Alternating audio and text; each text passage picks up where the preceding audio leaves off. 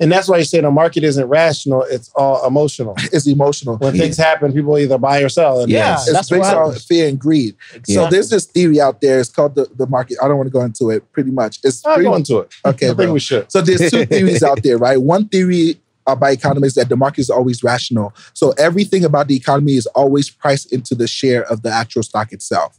So Everything- the market is say, it- say it again. Say it so again. everything about the economy and the stock is already priced into the stock. Okay. So they're trying to say the market is rational. Mm. The second theory is the market is irrational. People buy and sell based on feeling. And the way you can tell which one is right, look at the 52 week low and the 52 week high. And in a year, there's no way the company is not growing or decreasing by 50% in a year.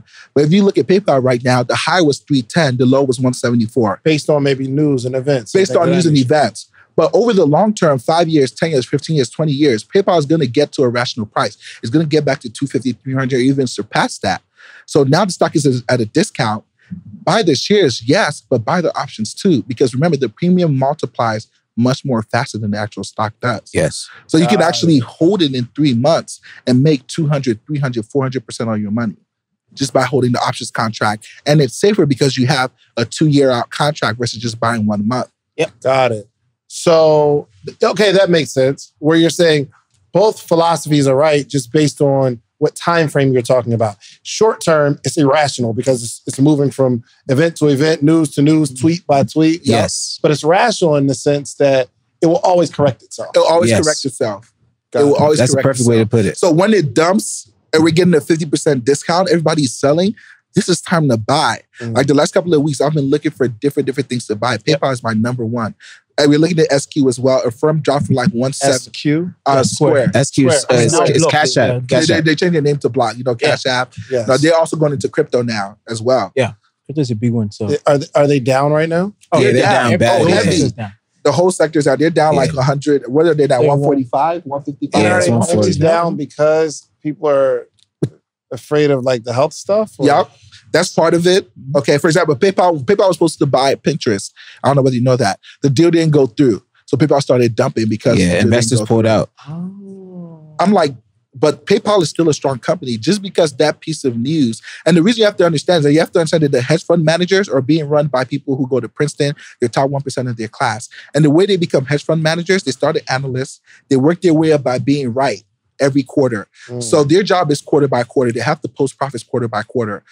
I, as an individual investor, I can wait one year, I can wait two years. They can't. Okay, because if they mess up, they get fired, Yeah. and their numbers are being c- compared to everybody's numbers across the board, right? Mm. So they're moving money out of PayPal, not because they don't believe in it, but by the end of the quarter, December 31st, they have to post their numbers. How did you do this quarter? Were you up 1%? Were you up 2%? Were you down 5%? So because of that, they have to take their money out of anything that's volatile, even in the short term, Yep. because they have to protect their profits or they'll lose their job. even if even if it's a oh and that okay i get what you're saying they don't really have time to they don't have the you have time. to have up and down and up and down Yeah. They don't have the time. eventually it will go up Oh yeah. right if you're a strong company Yeah. but they have to move according to i guess other people's emotions their Exactly. investors emotions their Yep. okay the board okay got you got you Yep. Wasi, what, what is your strength what is your strength So my strength is it depends on the seasons.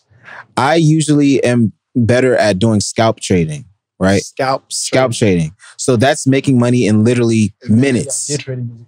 So it's it's day. So we have day trading and losing money scalping. in minutes Yeah. Yeah. So Yeah. so I'll, I'll tell you this. So me? I'll tell you a story. So, um, one of my biggest days, well, actually, my biggest day, I- I made a hundred grand in the market in a day. in a day In a day, right? This was uh, July 2020, right? So, what ends up happening is um, we bought into Amazon at the time, right? I bought some Amazon contracts, some Tesla contracts, some Netflix contracts. Uh, I think Google as well. Netflix was good. But most of most, yeah, Netflix was really good in 2020. so, um, so what ended up happening was I got into the trade, right? And um pretty much like right around the time of like when the market opened, right? And then literally in minutes, the stock started just exploding, right? Like a 10% gain, 15% gain in the stock itself and on, and across like Amazon, Tesla, and Netflix, right? Now, I put in about 20 grand into an, into the Amazon play, right? Now, what ended up happening was Amazon went from I think about three, three, 3,100. I think it gained about 100 points in a day to 3,200, Mhm. right? And my contracts ended up going from uh, 20K to I think almost about 100 grand, right? On Amazon alone. Sorry, no, 80 grand on Amazon alone. The other plays that I had were giving me like 10, 20,000. And so that's how I ended up making 100 grand in a day. So that's my strength. I like I like momentum trading. What that means is essentially you're watching the market and looking for specific trends right in the market. So you you might have a pre-market plan of saying, "Hey, what's the current news out there? What's the market sentiment on a specific stock? And, you know, is it up or down?" Right? So, you know, I would then decide to either buy calls or puts really close to open and then I would end up selling literally minutes later. Right? So then there's there's another one of my um strategies which is called um earnings plays right? This is one of my favorite ones. What are, so there's an earnings, report right?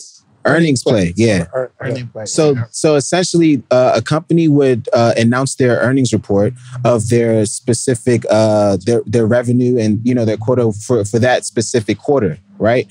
And so essentially what ends up happening is depending on the market sentiment of um what the investors believe that company is supposed to do for that quarter then the, the stock would either rise you know 10% or fall 10% right so if you were just to decide to buy a contract or many contracts of a specific company right before they um, Announce announce their earnings, then your contracts actually go like a thousand percent in a day. Like you would literally make an, a thousand percent gain in a day If you call it right. if, you, call, it right. right. If you call it right. However, with options trading, you can only lose the amount you put in. Mhm. This is the this is one of my favorite strategies because you can actually use, you know, two hundred dollars, four hundred dollars, for instance. When Zoom reported first reported their their um their earnings, right? This was back in 2020. When Zoom did theirs, they had contracts of four hundred dollars, right? But you know, obviously because of the pandemic and things like that, Zoom was like a really popping company at the time.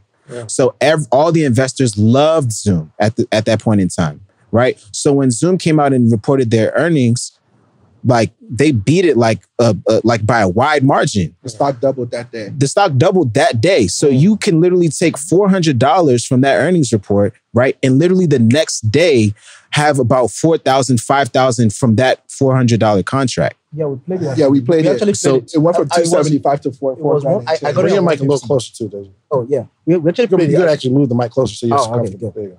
We we got it at one fifty. I bought mine at one fifty dollars per contract. I got What? 275. Yeah, So- Yeah. Zoom. Zoom. Yeah. Yeah, yeah, and it went to How many you get, Deji? So How many, yo? so uh for for earnings play, you have to be careful because you can't just go like all head in, Yeah. and because sometimes it can go your way, But but you still start go, lose. uh, Because something is this right? There's something called a market maker number, yeah. right? The market makers are expecting this uh, Market what? Market, Market maker, maker number. numbers. Yeah. Market maker numbers. Yeah. Yeah. Okay. So they're expecting a particular stock to move at earnings at a particular price. So on Think or like some platforms, they will write you they write MMM, which is market maker move. They will say plus 10, plus or minus 10. So they're saying if this move plus or minus 10, the IV, which is the implied volatility, which is what multiplies your contracts, Right. is gonna, you know, go crazy and you can make more money. Now, if you're wrong, or let's say you're right, the right direction, but it doesn't make that market maker number and you're out of the money, you might lose or you might Yeah. not get the same gain. Mhm. Yeah. So you Yeah, have to be right. limited. That's one thing. And then you have to get the number that the market makers expect. Yeah. But then you're playing with little money. Yeah. So I bought 10 of those. That's like a thousand five hundred. And each went to like four grand. So that was easy money for me. Right. Right. But if I knew it was gonna go, if I was so Yeah, cocky, we knew it was I would have put like 20k Yeah. to that. That would have been easy money. But then Yeah. it could go wrong. Wrong. Or it could go my way and not still not make the money. Yeah. So you have to be careful when you're playing earnings. Yeah, earning, earnings is very. You have to be very careful. There was one recently for Peloton. Oh, yeah. Now, Peloton was uh, a company that investors really loved during the pandemic. Yeah. However, what we ended up seeing was that the company itself ended up um, like cutting their prices of the bikes like in half. For instance, I bought the Peloton bike back in July 2020 for about two grand.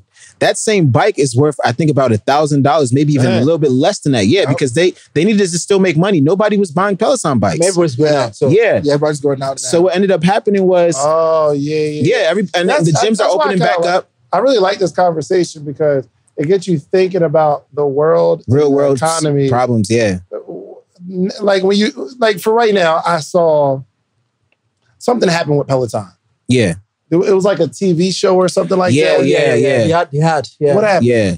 So there was a T. Oh, you want to talk about? So there was a TV show that essentially um, had the Peloton uh, bike in the in the in the show, and essentially I think somebody like Died. Somebody died Died. on the show or something Like because on of- the show. Yeah, Oh, yeah, on the on the bike, basically, like Yeah, on the bike, yeah. deaths. Yeah. yeah. So that's Bad news people for are emotional. Yeah. So what do you think the stock did? Hold on. People are Yeah. emotional. Trust Yeah. They're me. saying he died on the bike. So Yeah. yeah. the bike was the cause of the death. So people Why just, was the bike the cause of his death? What So it happened? was it was a TV show. yeah, I mean it was just people die. It's, oh, he didn't actually no, no, die. no, no, no, no, no, he didn't die. It was the No, no, TV show. Yeah, oh, no. The, So the in the character script, died. they like, Yeah. on the bike and he dies Yeah, on the the Yeah. bike. yeah, yeah, And yeah. that affected Yeah. The, the price of the stock. Yes. That's why I said the market is not Yes. rational. yeah.